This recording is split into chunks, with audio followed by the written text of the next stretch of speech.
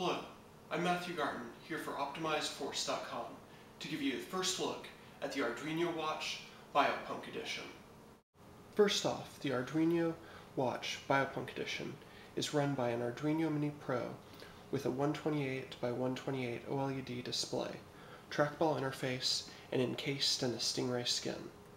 Now let's see it in use. Your Arduino watch can display the date and time in digital format for quick reading, binary format for geek cred in seconds, minutes, hours, days, months, and years, or for that classic feel, analog. Now time is nice, but there's a reason you strap an Arduino to your wrist. Sensors. Sensor glove attachments to the Arduino watch allow for augmented sensing or replacement senses for those in need. This glove has temperature sensors on the fingertips to allow for quick temperature measurements or temperature warnings. For someone with nerve damage on their fingers, it can help them tell the difference between a cold mug and a hot mug.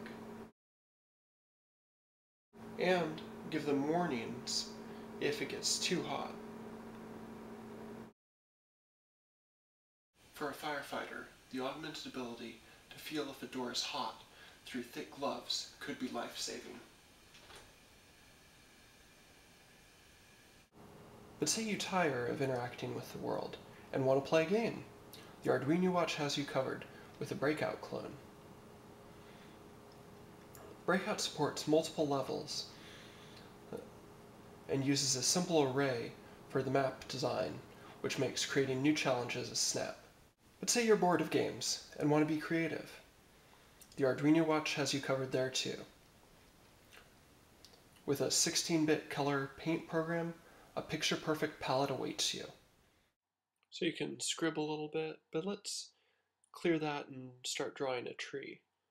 So you can draw the branches and the trunk, go back to the color picker, draw some foliage. But trees need sunlight.